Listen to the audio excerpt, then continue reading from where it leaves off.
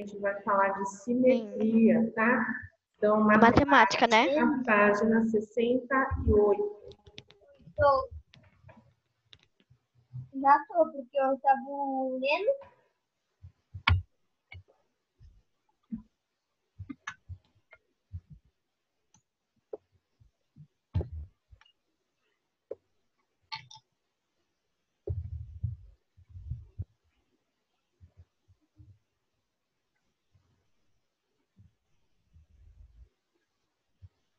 Pronto?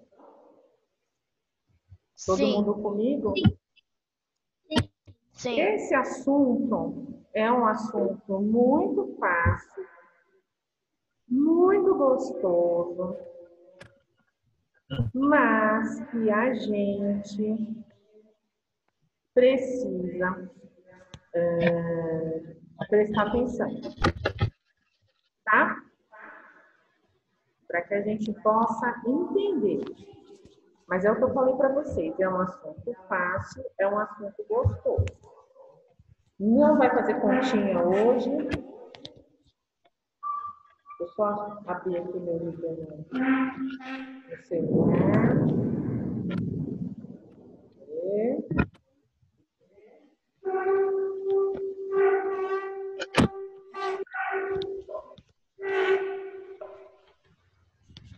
Então, bora lá.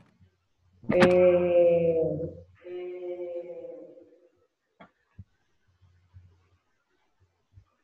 Eu quero que vocês observem direitinho essa borboleta. né? Observem ela aí, as cores dela, a forma dela. Tudo bem? As anteninhas. Né? Observem aí. Na imagem de Parece que, ela baixo, tem uma coi- parece que ela tem uma coisa diferente nas outras. uma coisa o quê? Uma coisa diferente que- das outras, ela disse. Ele disse. Não, não é a mesma borboleta. Maria, você tem aberta? Tira o som só para não ficar fazendo eco. Tá? Então vamos lá. Eu tô, é que eu tô de costas para Maria hoje. Em vez de eu colocar a mesa ali do lado da, da porta. O que aconteceu? Eu atravessei a Maria para ela tomar lanche. No meio do lanche começou a chover. Aí eu e a Maria tivemos que fazer o quê? Tomar banho atravessar para o prédio, porque eu já estava toda alugada aqui. Por isso que eu atrasei aí um minutinho, dois, não sei. Bom, voltando para a imagem. Se a gente olhar, né, essa borboleta, a gente pode perceber que ela tem duas metades iguais. Tá? Isso significa que ela tem simetria.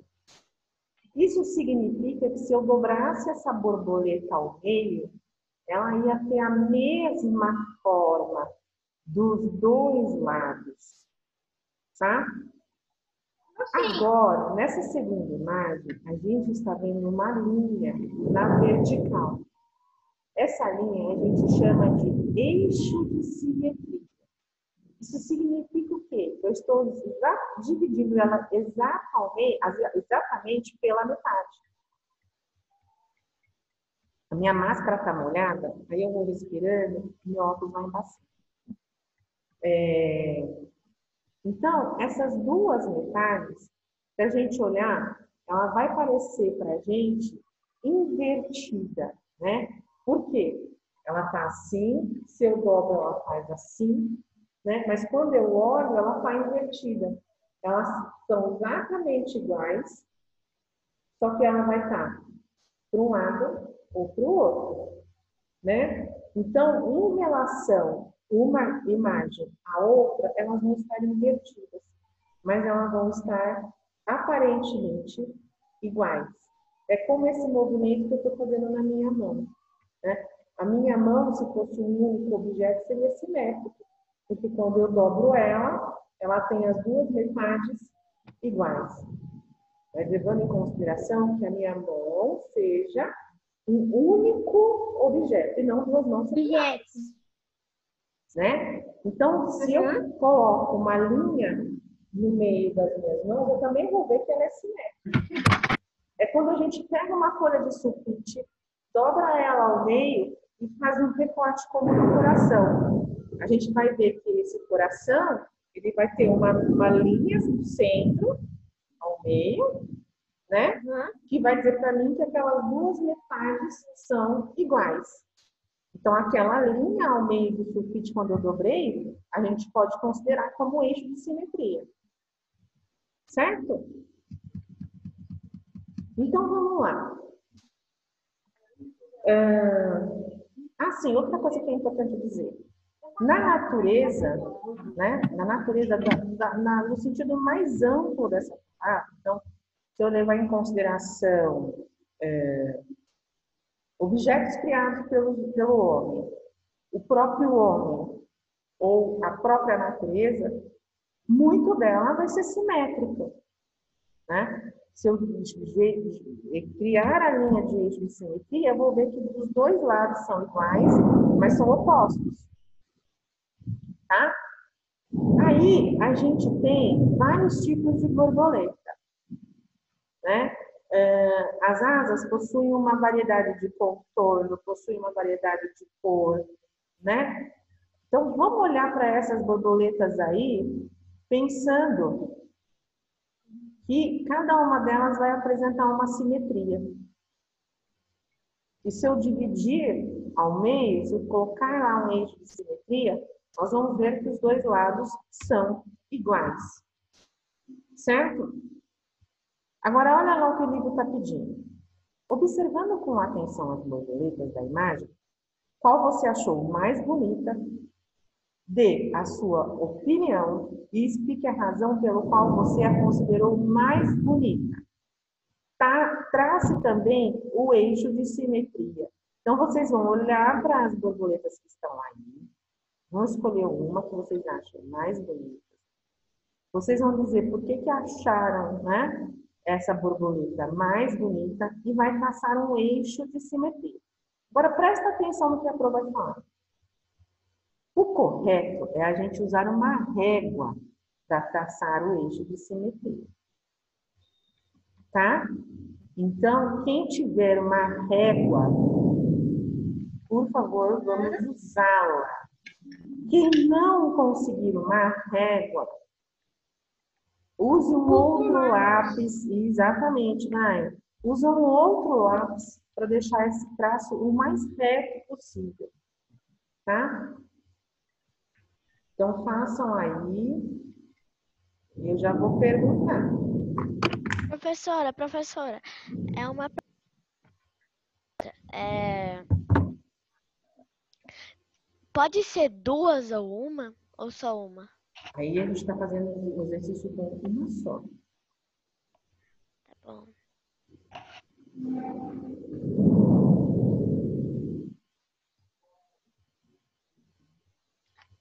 Pro, a gente faz um círculo. Não, só o traço eixo de simetria na borboleta que você achou mais bonita. Sim.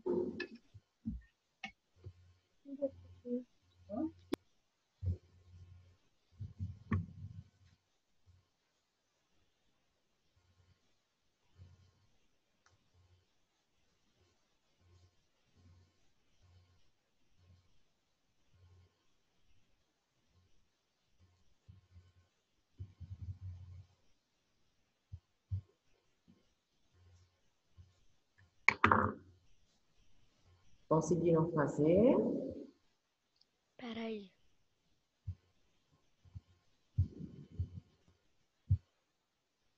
Então, por exemplo, eu vou fazer aqui. Óbvio que não vai sair retinho. Eu gostei dessa aqui. Então, eu vou lá, vou traçar o eixo de simetria e vou escrever. Gostei desta borboleta porque...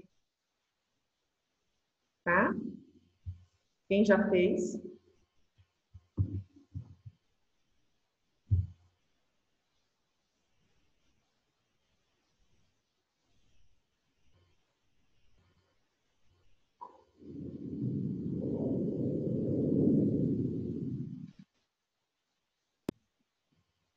Eu. Hum? Acredita que a gente fez a mesma? Oi? A gente fez a mesma. A mesma? O que você escreveu aí na sua resposta? Você gostou dela por quê? Porque ela tá de planta. Parece Folha. folha, né? Também gostei dela. Professor, eu também escrevi, eu, eu também coloquei essa. O que, que você escreveu? Eu escrevi que Abre o som, Brian. eu escolhi ela porque ela tem, ela é igual uma folha. Uhum, tá bom. Quem mais fala, quer falar?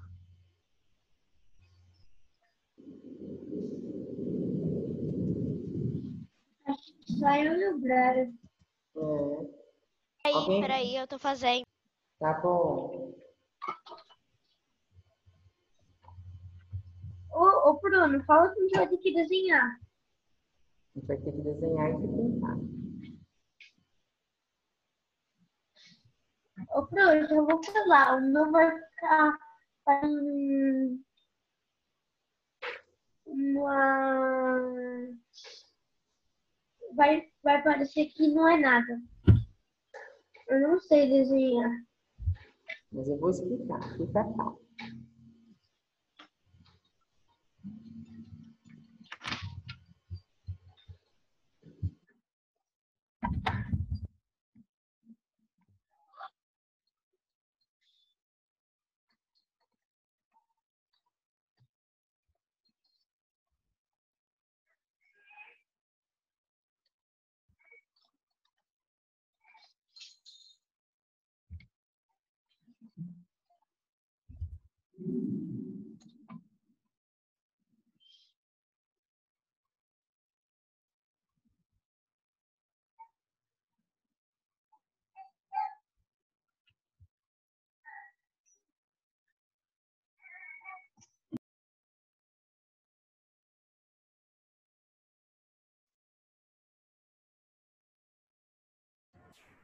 Pronto, professora. Pronto?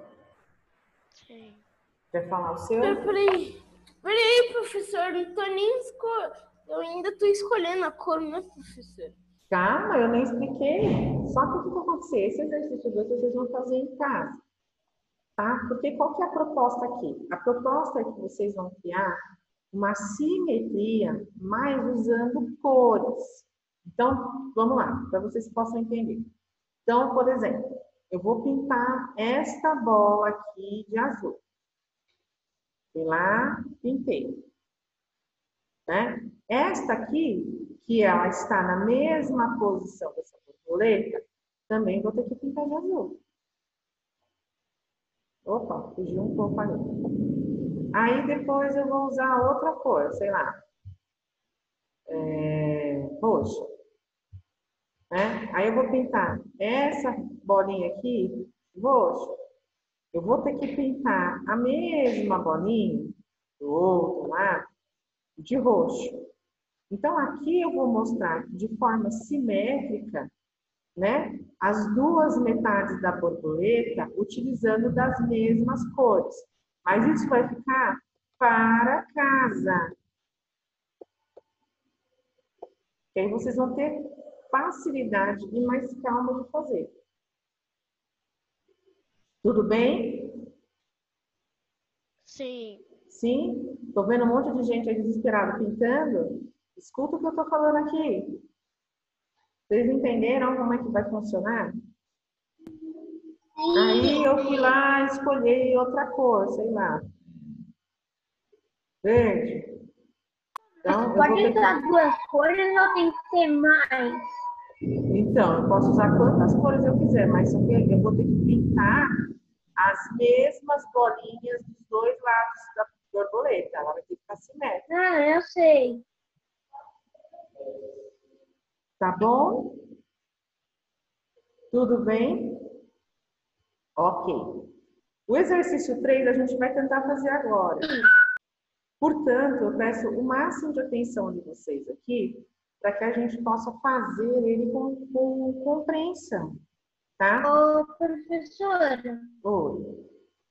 a Esther falou pra gente que no, no WhatsApp falou que ela tá com problemas de internet. dela tá sem internet. Eu estou Ela sabendo. Ela mandou pro grupo do, participar. ela mandou pro colégio. Tá? Então, bora lá. Presta atenção aqui no exercício 3. A gente vai fazer os contornos da metade dessa borboleta. Tá? O que que acontece? Primeiro a gente tem que fazer o contorno. Depois, né? Pintar nas cores a outra metade que a gente vai fazer, seguindo o padrão que já está pronto. A gente está fazendo uma borboleta simétrica. Então, vamos entender que esta linha aqui ao centro é o eixo de simetria. Então, agora a gente vai ter que desenhar o mais próximo possível, né, de- da imagem original. O mais próximo. O que, que eu sugiro? A gente sempre vai fazer o desenho nos baseando pelas linhas do quadriculado. Então, por exemplo, o corpinho, vamos começar pelo mais fácil, que é o corpinho. Não adianta eu começar pela asa, porque eu não vou ter o corpinho, que é o centro dessa borboleta. Professor, aí eu vou Não, não adianta fazer a asa primeiro. Vamos começar pelo corpinho. Tá? Então, agora o que a gente tem que fazer? A gente tem que completar. Então, olha lá. A gente vai fazer primeiro o corpinho, olha lá. Dessa borboleta. Aqui não vai sair igualzinho, porque eu não tô, né? Eu tenho dificuldade do computador. Ô, Bruno, a gente vai ter que fazer com a cor com a normal. mesma cor. Não, a gente usa o lápis normal agora. Tá? Mas presta atenção aqui na professora, por favor. Então vejam que o corpinho ele está bem rente a essa linha do meio. Então quando eu for desenhar, eu também tenho que fazer o mais quente e mais próximo do original. Depois eu vou pegar, fazer a anteninha. Presta atenção que a linha da anteninha está bem pertinho da linha azul do eixo de simetria. Então na hora que eu for desenhar, eu tenho que procurar usar os quadradinhos ao meu favor. Olha lá, a linha sobe um pouquinho em cima da linha azul e desce e encosta na outra linha azul de baixo. Então, eu vou tentar fazer o mais próximo da original.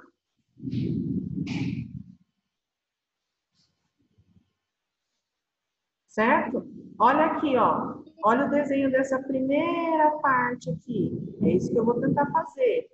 Olha, ela encosta no corpinho, aí ela vai encostar lá na linha azul do, do quadradinho, de um lado, vai passar um pouquinho para baixo e vai fazer a voltinha.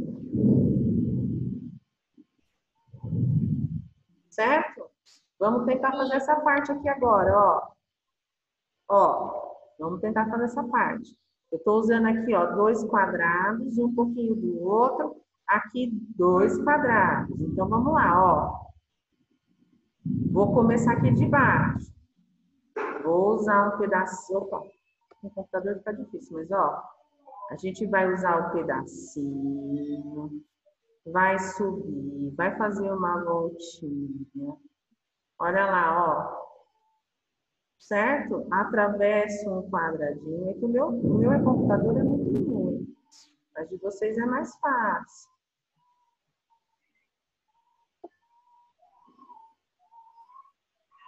Depois eu vou fazer a rosa mais clara.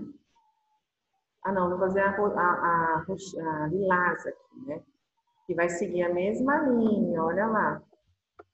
Ó.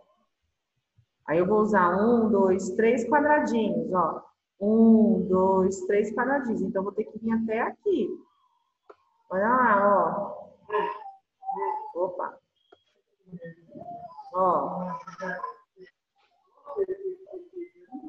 Aí, depois eu vou ter que usar um quarto quadradinho. Vou subir.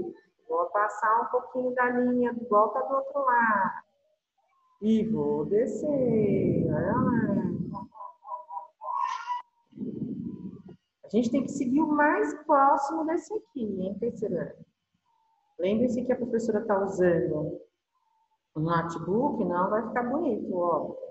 Vocês aí de casa é muito mais fácil. Para fazer o mais claro, eu tenho que dar um espaço. Vou usar um, dois, três, quatro quadradinhos. Então, olha lá, um, dois, três, quatro quadradinhos. Então, vai ter que vir para cá. Então, eu vou dar um espaço da linha de baixo. Vou vir, olha aqui. Ó, ó, ó.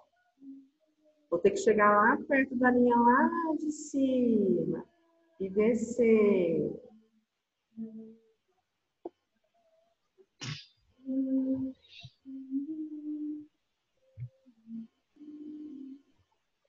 Pro, tá ficando bonito o seu.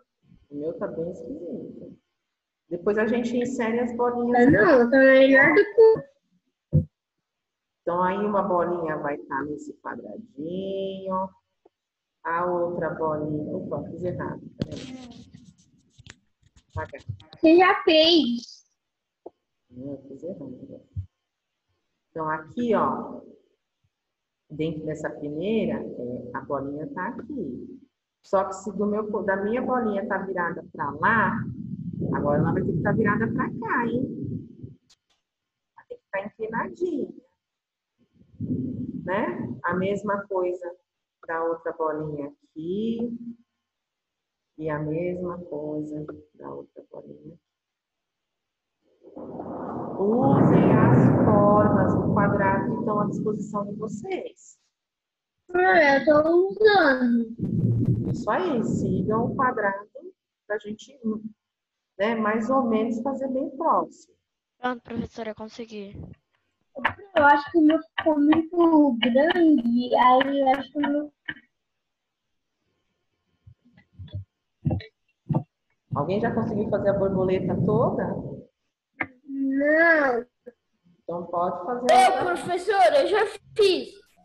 Vamos deixar para É, professora. vamos deixar para pintar depois, tá bom? Agora vamos tentar fazer a forma da borboleta eh, simétrica aí.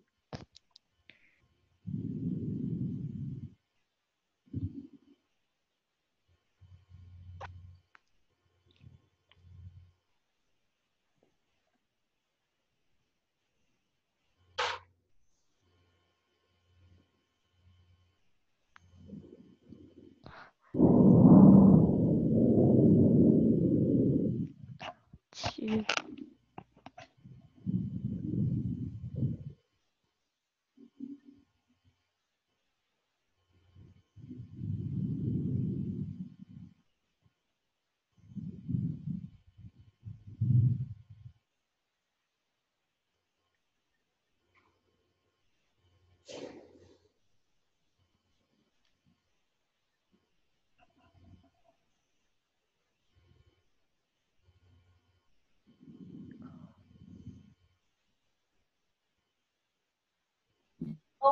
Não sei se dá pra fazer assim, mas não ficou horrível. Ó, professor, o meu. Mas ó, o segredo tá nas linhas aqui, ó. A gente tem que Então, seguir sei Impossível fazer, na linha, mas é impossível não fazer na linha. Cadê, Sofia? Ó, pro. Eita, Assim. lasqueira! É difícil. É difícil, professora. Ó, não ficou bom.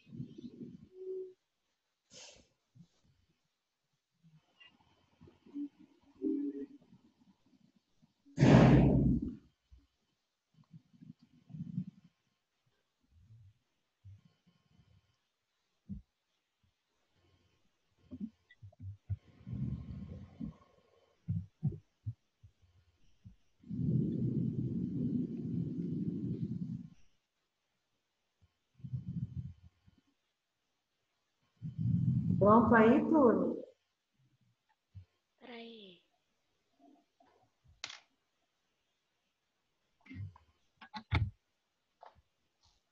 Peraí.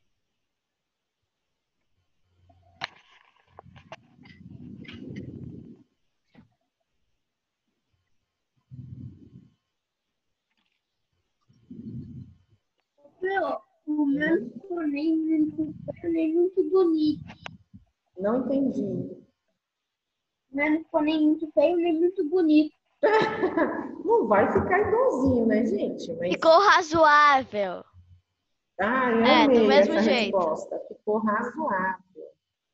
Não fica perfeito, não fica. É, A gente tem que tentar. também, né? É. Tem que. Também tem que ser um artista pra conseguir. Tem gente que consegue. Hum. Só se for. Artista Hum. fingindo que É. não sabia. Você tá usando filtro, Sossô? Ou você tá usando batom mesmo? Não, é filtro. Ó. Ó. Eu fiquei na dúvida. por isso que eu perguntei. O Ó. artista de 50 carreiras de ativo. Hum, Ah, é também. Bigode.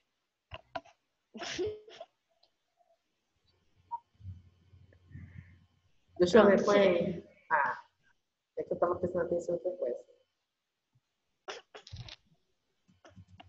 É barba. ela tá de bigode. Bigode, barba.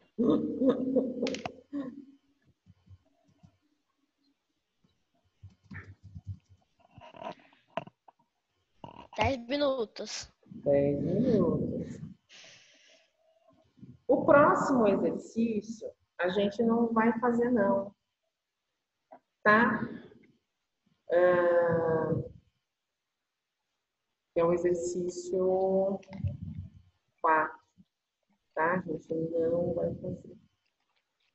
Então, vamos ver lá que o exercício proposto, então, vai ficar para vocês fazerem em casa, tá bom? Aham. No exercício, esse exercício de casa, vocês vão acabar, vocês vão usar um espelho, tá? Para realizar a atividade. A gente ainda vai Pô, tem continuar. um espelho maior que eu. Não, mas também tá, pode ser, você leva o livro para lá e faz. Sem problema. Agora, a gente vai fazer a construção de figuras simétricas, mas usando a geometria, né? Então, a gente vai usar aí ah, a, a simetria nessas, nessas, ai, que eu falar? Nessa faixa aí, né? É, Então, a gente estava usando a, a simetria em figuras né, de da natureza, certo? Como no caso da borboleta. Depois, o exercício mostra lá em cima, no caso de uma, uma folha de sulfite dobrada ao meio, tá? a gente não vai mesmo pra embaixo? Hã? A gente vai. É, essa folha aqui, É. em cima tá dobrada. Não, essa a gente não vai fazer. Tá bom? É, E aí, turma, no caso dessa folha, ah, lembrei que eu ia falar, dessa faixa quadriculada, né, desse, quadra, desse, desse quadrinho que está quadriculado, a gente vai ver que a gente tem uma figura colorida. E que esse eixo de simetria que está ultrapassando esse quadrado, é, daqui né, até aqui embaixo, vejam vocês, né? Estou usando uma cor meio ingrata, mas ó, esse eixo de simetria que está aqui em destaque, ele nos permite observar que a gente pode ter aqui uma outra figura, né? Que a gente vai usar as mesmas quantidades, olha lá, três quadradinhos, três quadradinhos. Então, a gente vai ter uma figura geométrica simétrica, nos baseando através da cor, tá? Então, é o que a gente vai fazer aqui agora. Olha lá. Complete a figura seguinte de acordo com a imagem simétrica. Para isso, siga a simetria também em relação às cores usadas. Depois de pintar, faça o que se pede. Então, aqui, se eu for usar a simetria, eu vou ter que usar a cor. Meu computador não é muito, né, não vai nos ajudar nessa questão. Por exemplo, aqui eu vou pintar de rosa, aqui, aqui e aqui. Não está pedindo para pintar quatro quadradinhos? Então, aqui eu vou pintar quatro quadradinhos. Ah, não posso aumentar a grossura do meu negócio. Peraí. Né? Então, aqui, ó, eu posso pintar de quatro quadradinhos. Opa, passei.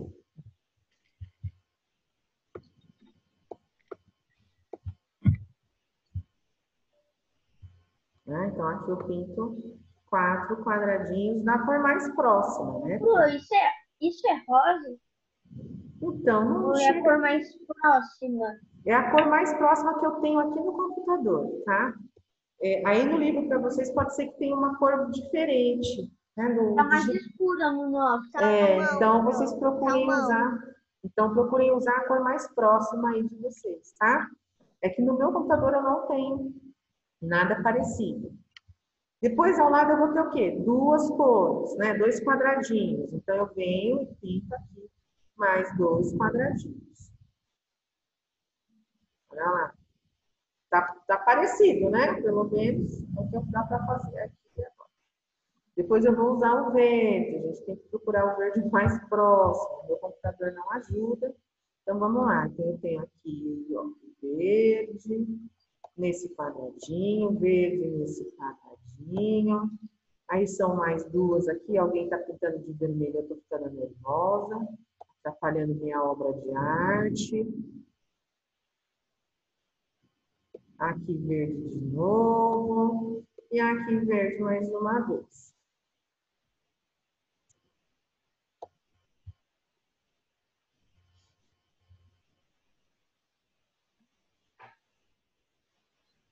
Depois eu vou ter que pintar mais dois quadradinhos, só que de azul agora, né? Então, eu tenho, ó, na mesma linha, olha lá, quadradinho que eu vou pintar de azul, o outro quadradinho que eu vou pintar de azul, na mesma linha. Tranquilo?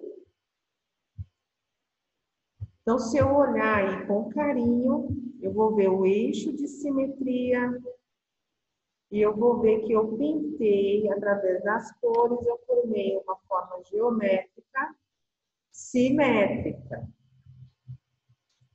dentro dessa malha quadriculada aí. Conseguindo, turma? Alguém está com dificuldade? Não. Beleza. Então, bora lá.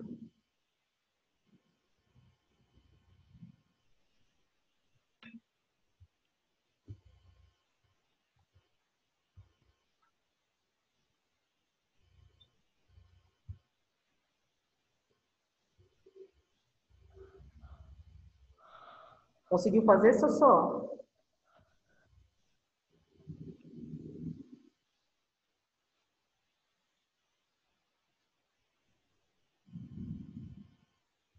Não, eu, eu consegui fazer, só que o meu, eu não tinha as cores iguais. Aí ele ficou meio um pouquinho igual ao seu. Que, o meu, que aqui é escuro, o meu escuro é muito fraco. Tudo bem.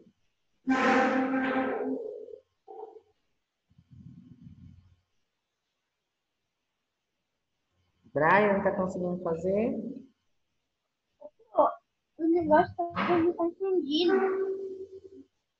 Por quê? Por causa que quando eu tava olhando aqui, ali é dois quadradinhos. Embaixo ali, dois quadradinhos. E aqui no nosso é, 3? É, é por causa do vermelho ali. Hum. Nosso é 3 e dele é 2.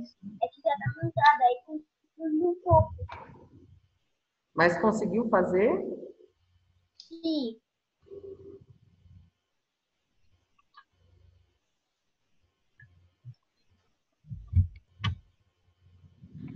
Oh, professora, parece que tá difícil aqui. O lápis quebrou. Mas vamos lá, Sossô. Temos um minuto. A gente vai sair desse link e retornar. Ó.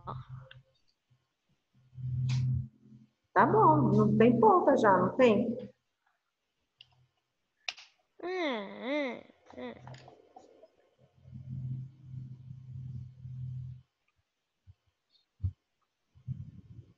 São três quadradinhos do, do.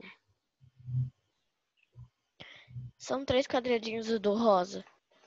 Quatro. Para mim são quatro. Pra mim são três. Quatro mais dois.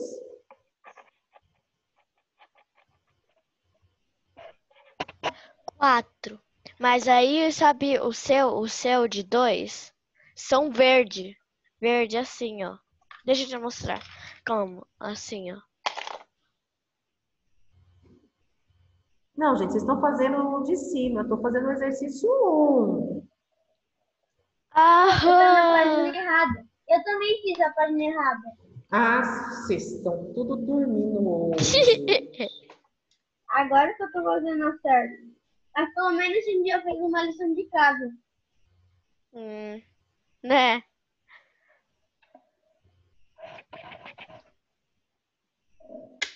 Tá difícil.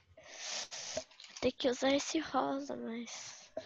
Ó, menos de um minuto, vai cair o link, a gente retorna no link para a gente dar continuidade.